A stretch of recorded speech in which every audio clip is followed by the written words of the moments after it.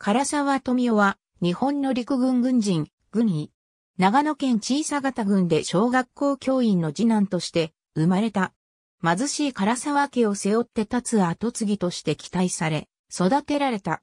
旧制上田中学を経て、1929年、東京医学専門学校に入学。1933年卒業、陸軍少尉。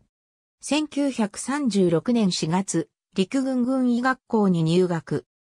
軍医中将、果実下隆二が主幹を務める軍人貿易学教室に所属、細菌学を学んだ。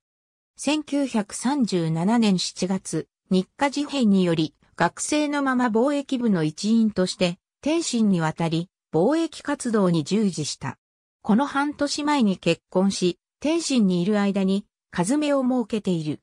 1939年9月、陸軍軍医学校を卒業。同年12月、軍医大尉として、祭祀を伴い満州国兵法の関東軍貿易給水部に赴任した。軍医少将、川島清の下で、第四部第一課責任者を務め、最近兵器開発に当たった。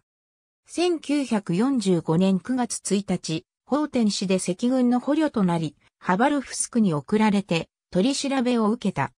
1949年12月に始まったハバルフスク裁判で強制労働収容所禁錮20年の判決を受け、イバノボシューレジニエボチクチルンチ村のラーゲリ第48召喚収容所に収容された。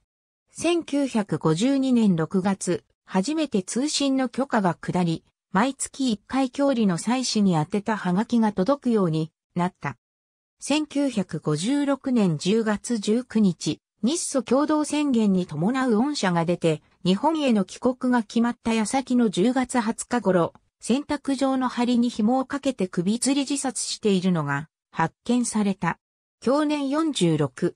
ソ連側の記録によると、発見者は、この絵家着なんで、元注意のこの絵文高。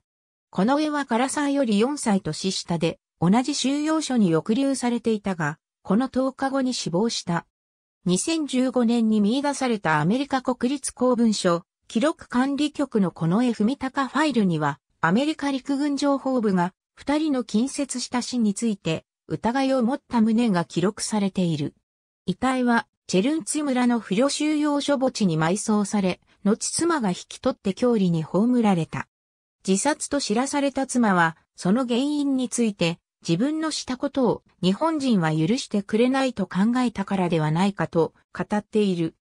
また、唐沢は裁判において自らの罪の大きさを自覚し、終始懺悔をし、後悔をしているとして将来生まれ変わり、もし余生があるなら自分の言った悪事に対して生まれ変わった人間として人類のために尽くしたいと思っていると後悔の念を述べている。唐沢の部下であった篠塚義雄は1984年頃から自らの関わった人体実験について語り、戦争犯罪を謝罪するようになった。ありがとうございます。